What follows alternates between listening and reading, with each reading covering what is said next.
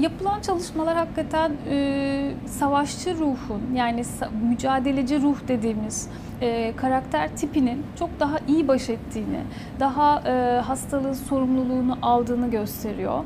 E, belli risk faktörleri var. Bir kişinin baş etme becerileri yeterliyse, evvelden bir e, geçirmiş olduğu psikiyatrik bir rahatsızlığı yoksa, o anda yaşam içerisinde başka bir stres faktörü yoksa, aile desteği iyiyse, e, başka bir sağlık sorunu yoksa hani o süreci biraz daha alevlendirecek kişiler daha iyi baş ediyorlar.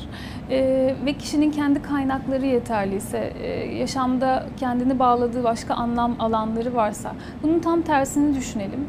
E, çevresinde kimsesi olmayan e, yalnız yaşayan e, çocukları ya da kendi çevresinde ona destek olacak insanlar olmayan kişilerin baş etmeleri daha zor oluyor.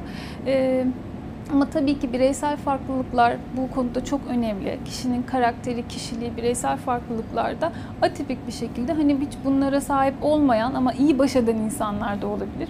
Ben hep bunu diyorum. Yani dünyada milyarlarca insan varsa milyarlarca farklı kanseri ya da hastalıkları yaşama şekli vardır. O yüzden hani bireysel ihtiyaçların iyi değerlendirilmesi ve o noktada öyle o şekilde yaklaşılması çok daha uygun olur.